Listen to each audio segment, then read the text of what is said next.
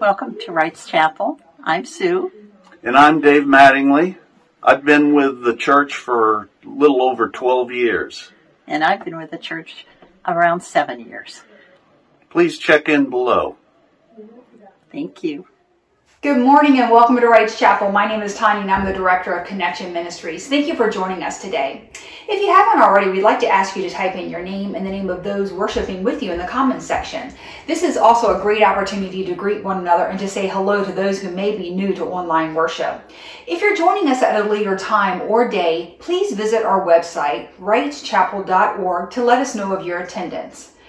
If you have questions about Wrights Chapel or you'd like to learn more about its ministries, feel free to reach out to me directly at tanya at wrightschapel.org or you may call or text me at 540-604-0038. Thanks again for joining us today. Take care and have a great week.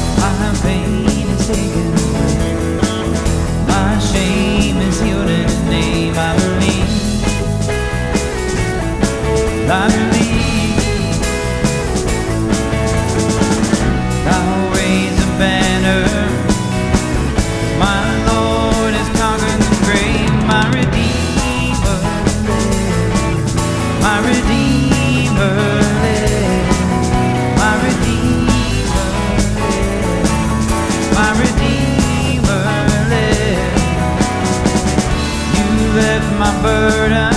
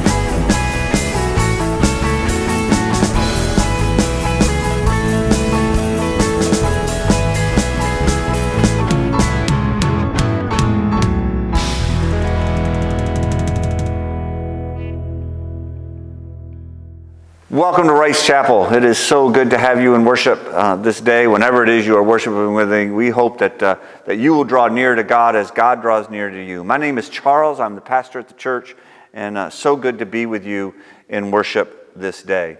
Uh, later in the service, we will be sharing in a time of Holy Communion, so I want to invite you to uh, get some, some juice or some bread, some wine, uh, water uh, some crackers, maybe some bread uh, for everyone that is participating in worship with you uh, as, you as you're together. Uh, we'll share in that holy sacrament later in the service. The only other announcements I have are, are, are two. One, hope that you will support, support our Polar Bear Plunge, uh, which is this coming Saturday, February the 12th. Uh, I think the plungers are going in at noon. Uh, you can do so if you want to support somebody going in. You can do so by just going to our website and uh, donating to the Polar Bear Plunge Line. That goes to help our ministries of, of, of heating assistance and, and other types of emergency assistance that folks in our community need.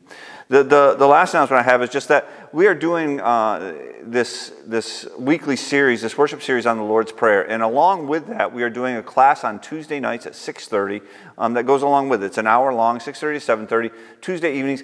Uh, you can join us in person in our fellowship hall, or if you want, you can uh, get the link to that um, and do that on Zoom. And, and uh, if you just comment in the section that you would want that link, Tanya would be happy to send you that link for that Zoom class on Tuesday evenings, uh, 6.30 7.30. So good to be with you. If you, have, uh, if you have prayer requests, as we move into a time of prayer, if you have prayer requests that you would want to share, uh, we'll hope that you'll do that. You can comment that in the comment section. Uh, uh, if you haven't checked in yet, please do so. Check in. Let us know that you're worshiping with us. If, if you see someone you know or someone you know, please welcome them uh, to worship this morning as well. Again, thank you for taking time to worship our God this, this, this day. Let us pray. Gracious God, we thank you for the blessings that you pour down upon us each and every day. You desire to fill us with good things, to share your abundant life with us, and to pour out your Spirit upon us. You lavishly grace us with your mercy and forgiveness.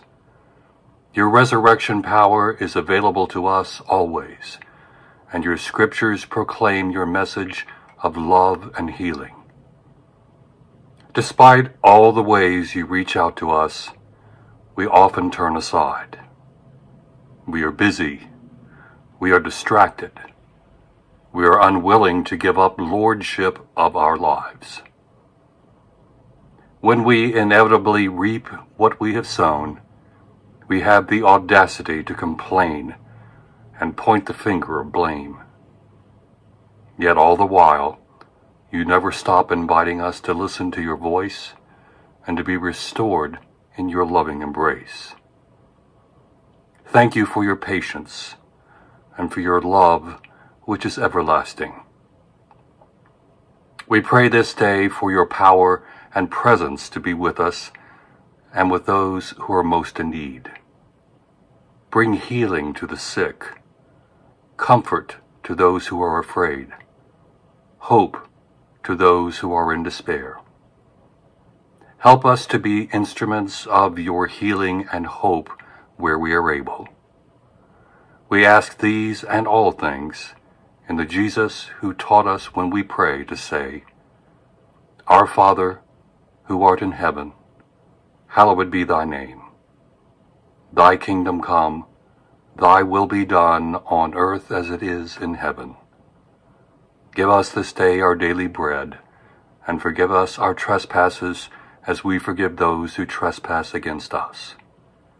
And lead us not into temptation, but deliver us from evil.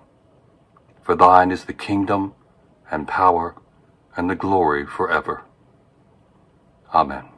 Hi, my name is Grayson Kelly. Join me in the reading of the Apostles' Creed. I believe in God, the Father Almighty, maker of heaven and earth, and in Jesus Christ, his only Son, our Lord, who was conceived by the Holy Spirit, born of the Virgin Mary, suffered under Pontius Pilate, was crucified, dead, and buried.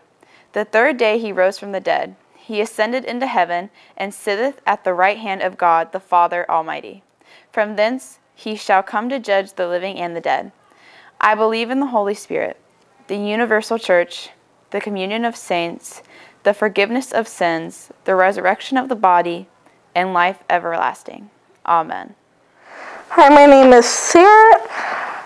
Our Father in heaven, hallowed be your name. Our king, your kingdom come, your will be done on earth as it is in heaven. Give us our daily bread, and we forgive our debates as we also forgive our debaters. For if you forgive others others their trespasses, your heavenly Father will also forgive you. But if you do not forgive either, neither will your Father forgive your trespasses. Hello, my name is Liam. Two others were criminals. They led away to be put to death with him. When they came to the place that is called the skull, they crucified Jesus with the criminals, one on his right and one on his left. Then Jesus said, Father, forgive them, for they do not know what they are doing.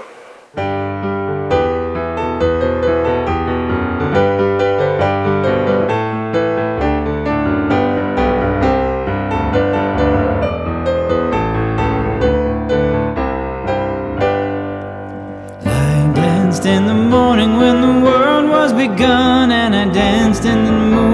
the stars and the sun.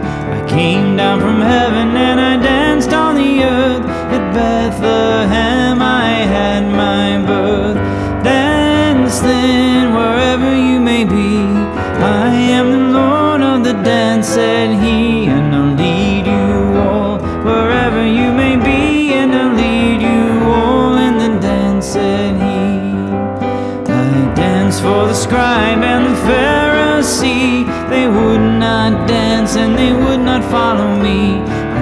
for the fishermen, for James and for John. They came with me and the dance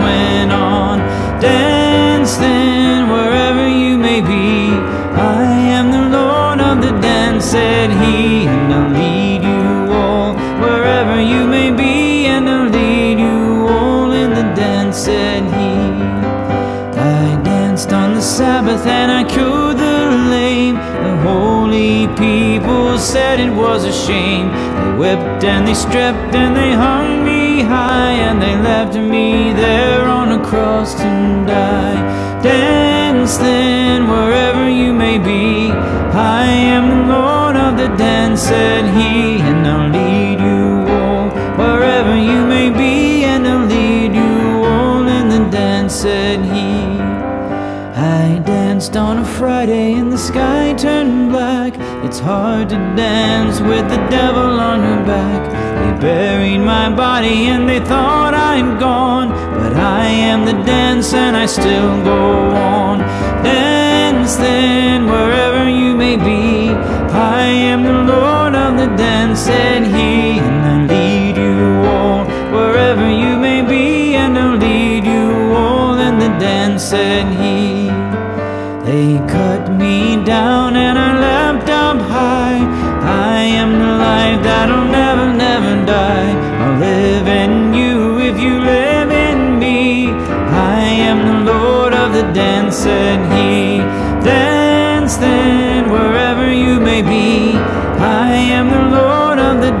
Said he, and I'll lead you all wherever you may be, and I'll lead you all in the said I want to thank all of our, our people who have helped in leading our worship this morning. Let us pray then together. O Lord, break the bread of life, that in so doing we may be better able to hear, better able to understand, and thus better able to respond. In Christ Jesus' name we pray. Amen. So, if you've been worshiping with us for any amount of time online, then, then you will have noticed that we often have our children and our youth participate in leading worship. Sometimes our young people help with the opening to worship. Uh, uh, one of them might read a prayer, uh, lead us in the Apostles' Creed, maybe read a scripture lesson for us. And uh, we, we are intentional, intentional about that. We want our, have our children and our youth participate in, in worship for a variety of reasons. Um, first, our, our young people, um, quite frankly, are most often the most willing to be on camera. I'm, I'm not sure why the older we get, the more camera shy we get, but that, but that seems to be the case. Secondly, we want all of our church family um, to participate in, in, in worship and to, help, and to help lead us.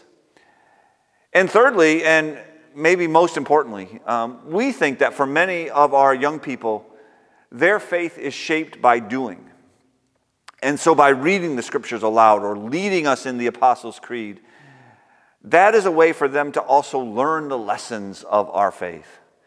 And, and we know that sometimes they mispronounce or they stumble over words, and sometimes they read really, really fast, or, or maybe they read slower than you might. Um, but those experiences of participating and saying and reading the words make a difference in their life of faith over time.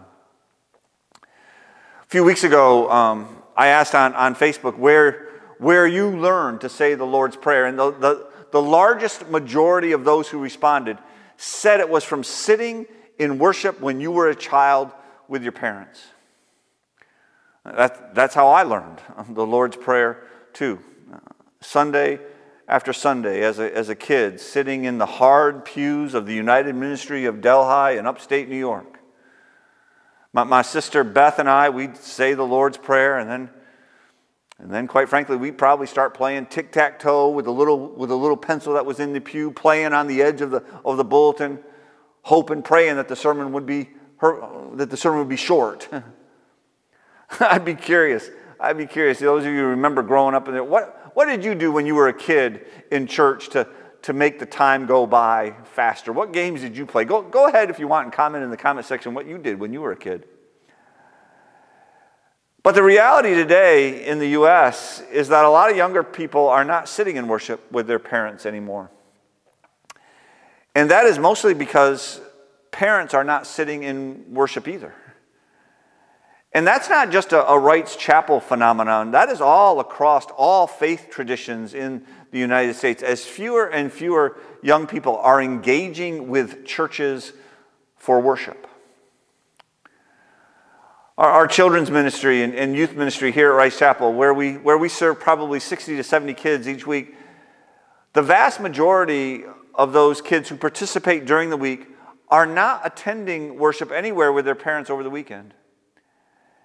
And, and so, what we've learned is to use the days, to use the time we have with our young people to help pass along the traditions of faith that give us a solid footing, that give us a grounding on, on, which, to, on which to stand.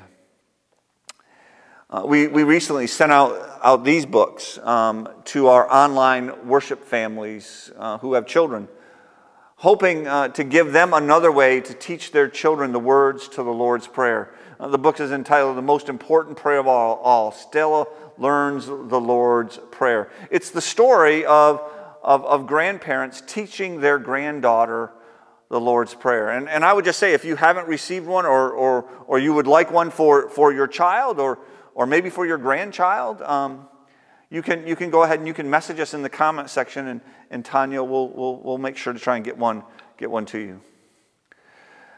But we all know, don't we, that sometimes, even with our best intentions, the, words that we intend to teach our children, those words can get turned around in their heads, don't they? And, and that happens with the Lord's Prayer as well. A, a little, a, a little three year old named Reese um, ended up praying the Lord's Prayer this way. He said, Our Father who does art in heaven Harold is his name. a four year old play prayed, and forgive us our trash baskets as we forgive those who put trash in our baskets. And, and one woman wrote um, that she had been teaching her three year old daughter, Caitlin, the Lord's Prayer. And, and for several evenings at bedtime, she would just have Caitlin repeat it line by line. And when finally mom thought Caitlin could do it on her, on her own, the little girl prayed, Lead us not into temptation, but deliver us some email. Amen. And, and, I, and I realize uh, that makes us chuckle. Um, but sometimes we adults who, who pray the Lord's Prayer, just like these children, we too may not fully grasp all that Jesus was trying to teach us in giving us this prayer.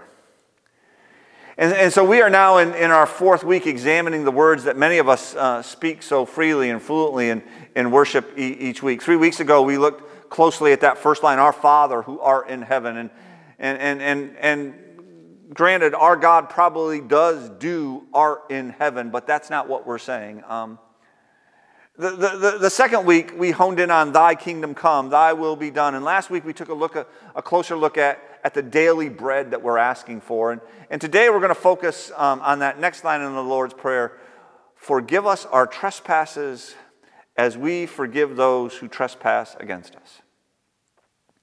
Before we get too far ahead of ourselves, though, let me answer a question that I have been asked numerous, numerous times. Why why do different churches use different words in the Lord's Prayer for what we are asking forgiveness for? I mean, if you were raised in the Methodist or in the Catholic Church, you grew up asking for forgiveness from trespasses.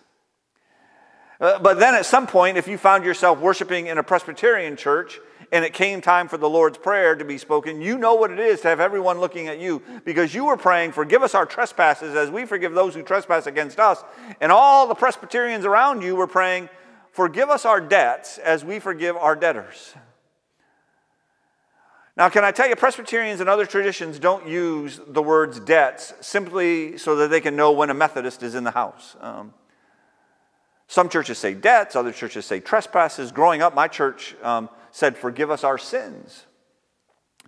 And, and, the reason we use different words is because the gospel writer, Matthew and, and Luke, the two writers that record the Lord's Prayer, they wrote this prayer in Greek. They wrote in Greek, not in the Aramaic that Jesus spoke. And Matthew tells us uh, that Jesus said to pray this. He, Matthew says, uh, Jesus told them to say, Forgive us our debts.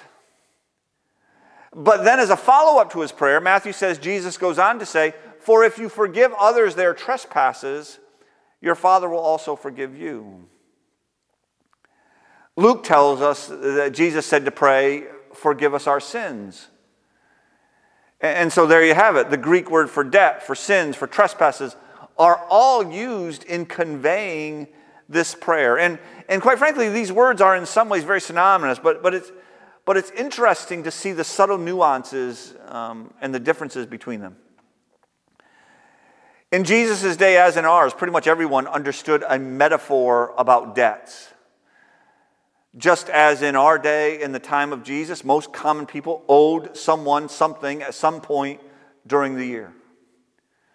The, the tenant farmers were living on leased land and they may have borrowed money for, for seeds. At, at the harvest, they owed a portion of the crop to the landlord or the lenders.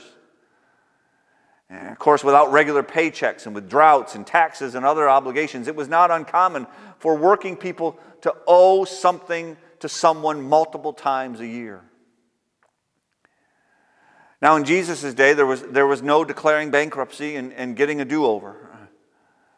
When someone got so far in debt that they could not repay, mercy might be shown for a time, but ultimately there were two fates in the Greco Roman world. Either you became a slave until you worked off your debt, or you were imprisoned in debtor's prison until someone paid off your debts. And, and, when someone paid off your debt and set you free, that person was said to have redeemed you. And so they were known as the Redeemer. This is one of the words that the New, New Testament authors use to describe Jesus. And, and, and we have a song that we sing My Redeemer lives, my Redeemer lives. Interestingly enough, in the ancient world, it was also a common practice when someone's debts were finally paid off that the creditor, the, the person who was owed the money, would strike a nail through the certificate of debt. In the same way, when Christ died on the cross, a nail was driven right through the debt of our sin. There, there are no longer any outstanding charges against us. Jesus has redeemed us from debtor's prison by giving his life for ours. Forgive us our debts, Lord. Luke, though, when, when he's teaching his disciples to say this prayer, uses the, uses the Greek word for sin. Forgive us our sins, hamartia. Hamartia is a familiar uh, term in the Greek for archery. It means to miss the mark. And the idea is that there is this mark, a bullseye, right, that we are trying to hit. And the bullseye is, of course, doing God's will, loving God, loving our neighbor, doing justice, showing compassion. And sometimes we hit the mark, right? Sometimes we hit it when, when we feed the hungry, when we lift up the oppressed, when we do the loving thing. But at other times in life, we are like the arrow that veers off to the, to the right or veers to the left or falls short of the target. We often miss the target that God has set. And so we pray, forgive us our sins, Lord. And then, of course, in the 14th and 15th verse of this sixth chapter that were read for us today, um, Jesus gives a little commentary in Matthew's gospel on, on, just this, on just this one line of the prayer. And Jesus says, For if you forgive others their trespasses, your heavenly Father will also forgive you. So, so what is a trespass? Well, the, well, the Greek word for trespass literally means a falling away, it means a misstep, often unintentional. It, could mean someone who took a wrong turn. I think, I think of no trespassing signs, right? When we trespass, we step on or we infringe upon what is not rightly ours. It's, it's a turning away or a falling away from a right relationship. We often turn away or fall away from each other and from God. Forgive us our trespasses, Lord. And so, in, in, in, my relationship with God and with others, I, I have incurred debts. I have, I have missed the mark. I have trespassed. I have made missteps. I've fallen away. And so have you. But here's the deal we as Christians often find ourselves in one of two scenarios. Oftentimes, we become blind to our own shortcomings. And we, and we fall into the trap of rationalizing our behaviors and our thoughts, and we, we start thinking, well, I'm a good person. I, I don't do a lot of bad things. I, I try to be good. And then this is where we often go, right? We, we, we get in our head and we say, well, well, I'm certainly not as bad as. I'm not as bad as. And right now you're thinking of that person and you've got a picture of them in your mind, and you can name that person that you're not as bad as, can't you? Now, I'm telling you, don't name any names, and for goodness sakes, don't point. Don't point at anybody in the room for sure. But we need to remember that Jesus didn't instruct his disciples to pray, Father, keep us from being as bad as Joe. Didn't tell us to pray to say, I mess up sometimes, God, but I'm nothing like Sue, nothing like Thelma. God, you probably need to spend more time with them. no, Jesus said when we pray, say, Forgive us our trespasses. And so sometimes we, we fail to recognize our own need for forgiveness. And, and, and we, can, we can certainly see the need that others have for forgiveness, but sometimes we struggle to see our own, our own need. There's a story that, that Jesus told about a prodigal child who, who took his father's money and squandered that money in a far off country. And, and, and everybody who was looking in from the outside and saw the situation knew that the boy had trespassed, uh, uh, sinned, was, was indebted to his father, and that the boy was in need of forgiveness. Everybody knew it. Everybody, that is, except the boy. The boy didn't care about forgiveness. He was out spending his father's money, money that he thought was rightly his. Until Jesus says, the boy in a faraway country he came to himself. It was when the boy came to himself that he realized his own need to be forgiven and to be reconciled to his father. And, and only after he came to himself did he start that long journey home. Now, the father, we know from the story, had already forgiven his child long ago. But it was only when the child came to himself that they could be truly reconciled. And so, how do we, we who tend to fall into the trap of comparing ourselves to the worst person we can think of, how do we come to ourselves and to begin to recognize our own need for forgiveness? And one way is through this wonderful prayer. Because each time we pray these words of the Lord's Prayer, we are meant to remind ourselves of our need for forgiveness. Jesus said, when you pray, whenever you pray, pray like this. This is not a prayer that we pray once a year. This is not a prayer we pray once a month. Jesus said, when you pray, pray this way Forgive us our trespasses. Now, now, the other scenario that some face as Christians is that you struggle on the other end of the spectrum and you feel guilty all the time. And you've come to believe that you are the sole reason the world is in the mess it is. Somehow, in your mind, you've managed to screw up everything you've ever been a part of. You've never done anything right, and you can't imagine that anyone, especially God, could or would forgive you of your sin. Your sins are too many, your sins are too big. And, and there aren't, if you're Catholic, there aren't enough our fathers that you could say that would do penance enough for your life. You'd still feel guilty. Here are, the, here are the two things that I get out of this phrase that Jesus taught us to say. When it comes to forgiveness, we need it, and God is willing to dispense it. And, and here's what Jesus tells us to do to rectify our relationship with God we ask for forgiveness. We ask God to release us from the debt we owe from our past sin. We ask God to release us from the time that we've missed the mark. We ask God to set aside the times we've trespassed or fallen off in our relationship. And throughout the gospel, Jesus teaches us about the generosity and the grace of God who is willing to forgive. And, and quite frankly, friends, we live into that grace even today as we accept God's invitation to come to God's table and dine. And we hear God say, You are forgiven. Here, my friend, eat this bread, drink this wine, and remember that I love you and I forgive you. You are my child. Welcome home. Now, the easy part of this prayer is the first half. But things can get really tough with the second half. Uh, for it is not only in my relationship with God that we've missed the mark, but, it, but it's in our relationship with others too, isn't it? We've hurt others. Others have hurt us, sometimes in really horrific ways. And yet, what Jesus is teaching us is to pray in such a way that whenever we ask God to forgive us, that we challenge ourselves to do the same for others. We are challenged to forgive others the way God has forgiven us. And oh boy, oh boy, oh boy, that can be so very, very hard to do. And anyone who's ever been in any type of long term relationship knows that forgiveness has to be a part of that relationship.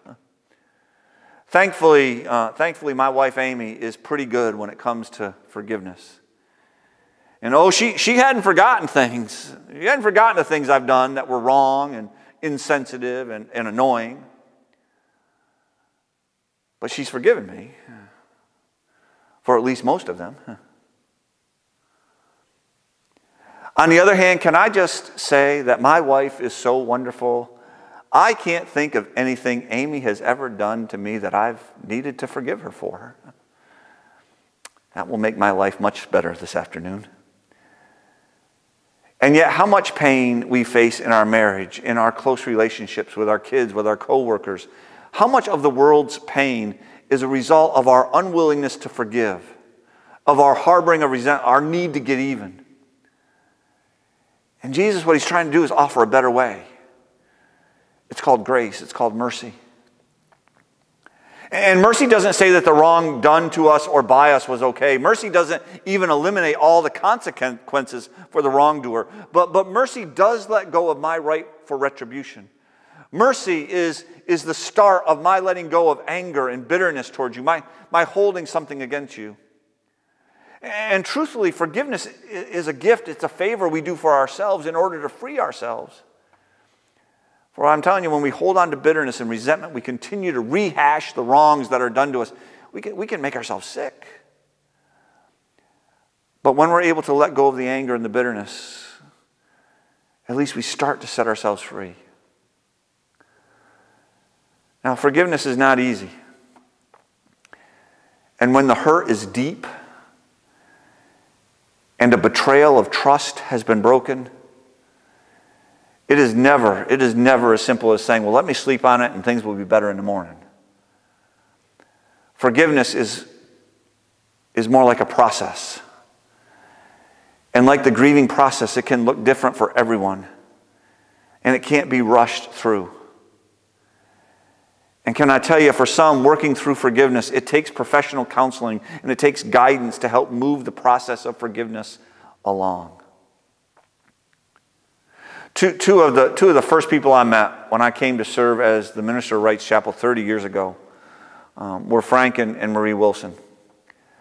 And, and, and some of folks here may, may still remember them. Frank, Frank served as our choir director for a bunch of years, and, and, he, and he died a number of years ago now. And, and, and several years ago, uh, Marie, uh, she moved in with family to be cared for, and, and Marie um, is still living in Florida near her daughter, uh, Frank, into her 90s now. Frank and Marie were both retired school teachers from the Washington, D.C. area when they moved into uh, Lake Caroline. Frank and Marie came to, to Wright's Chapel during a real struggle in their life. Uh, shortly before they retired, their oldest son Wayne had gotten married, and he and his new bride were on their honeymoon in the Caribbean. And one evening, when they were out enjoying the beauty of the island, they were mugged at gunpoint. And tragically, Wayne was shot and killed. Obviously, everyone was, was just devastated. Marie and Frank crushed at the murder of their oldest child. The young man who shot their child was arrested, was tried, convicted. But the pain for the family, as you might imagine, was it was still overwhelming. The pain and the heartache and the anger were the reason why Frank and Marie started coming to Wright's Chapel. Looking for a way to cope with their loss, to cope with their anger, with their bitterness, hoping to find comfort, to find something in God to help them live again. I can remember talking to Marie, who finally came to the place where she was able to say, I forgave the young man who shot my son. And it didn't happen overnight. And it didn't happen in the first months either. Rather, if I remember, it was several years. And what Marie told me is that she began to think of the mother of the young man who shot her son. And, and Marie said to me, she said, that, that mother lost her son too. And I imagined that she loved her son the way I loved mine. And that began to change the way I thought about him. I'll never forget the pain, Marie said. But I don't want harm to come to that man or his family. I've forgiven him. I'll tell you, I don't, I don't know if Frank ever got there. I don't know. I know he struggled with forgiveness. And he struggled with the pain. And I believe, and I believe that God was with him in that, in that struggle. And, and so one of my hopes, one of my hopes is that neither I nor any of you would ever have to face the prospect of offering forgiveness over such a hurtful, painful experience because I'm telling you, I can't imagine the pain. But as a pastor, I also know this that life can be tough. And I know that life for many is filled with pain, is filled with heartbreak, is filled with despair. And so part of what we do each week in worship is we till the soil and we begin to pr- prepare our hearts and we prepare our lives for those times when we are called on to offer forgiveness to another as God has forgiven us. I do believe, I do believe that that's what Jesus did. And I imagine that it was only because Jesus had tilled the forgiving soil of his heart by praying, Forgive us our trespasses as, as we forgive those who trespass against us. I believe it was only because he had prayed that that Jesus was able to utter his prayer from the cross and actually show us what it looks like. Father, forgive them, Jesus said, for they know not what they do. Our Father, who art in heaven, hallowed be thy name. Thy kingdom come, thy will be done, on earth as it is in heaven. Give us this day our daily bread, and forgive us our trespasses, as we forgive those who trespass against us. Peace and amen. Again, I just say thank you for the gifts you give to the life of our church that just allow us to do uh, so much, so much ministry. Uh, one of the things that we were able to do because of the gifts you give is to send out these books, to send out worship uh, boxes to, to many of the folks who are worshiping online, to send these to our kids um, in order that, that they might learn the words of the Lord's Prayer. And, and, uh, and these, these aren't expensive, but, but they add up. And, uh, and so we thank you. We thank you for the gifts you give, that you text in, that you mail in, that you give online, that just allow us to kind of reach out and to share ministry and to share our faith um, with, with all sorts of, of folks. I want to invite you now, if you haven't already, to get um, your elements for communion bread uh, or crackers, uh, wine, juice, water, and let us prepare to celebrate this holy sacrament. And so we remember the night that Jesus gave himself up for us. And he took the bread and he gave thanks to God and he broke the bread. He gave it to his disciples and he said, Take, eat, for this is my body given for you. Do this in remembrance of me. In the same way, after supper, Jesus took the cup. And he gave thanks to God and he gave it to his disciples and he said, Drink from this, all of you, for this is my blood of the new covenant, poured out for you and for many for the forgiveness of sins. Do this as often as you drink it in remembrance of me.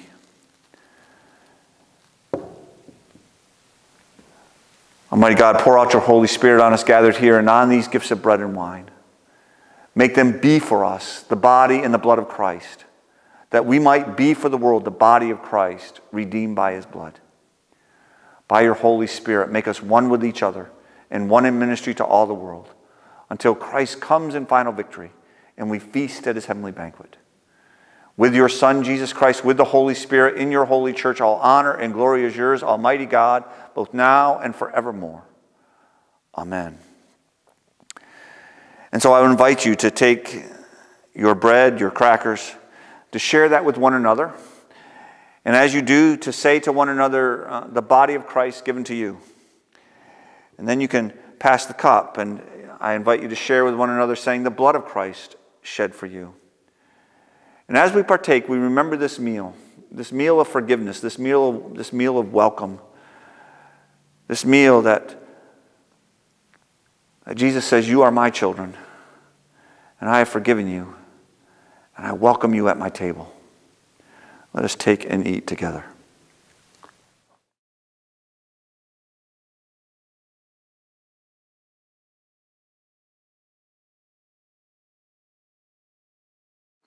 Let us pray. Lord, we thank you for this holy meal that you share with us. It is a meal that fills not our stomachs, but our hearts and our souls. May we be filled with your grace and your mercy, that we may be those who are able to share that grace and mercy with others in our lives. We pray this in Jesus' name. Amen. And now let me share with you this benediction, and then Clay will lead us into a final song of praise that we might go forth into this world in peace and be of good courage. Hold fast to what is good and render to no person evil for evil. Strengthen the faint hearted and support the weak. Help the afflicted. Honor every person. Love and serve the Lord, rejoicing in the powers of the Holy Spirit. And may the peace of God, which passes all understanding, keep our hearts and our minds in Christ Jesus, both now and forevermore. Amen.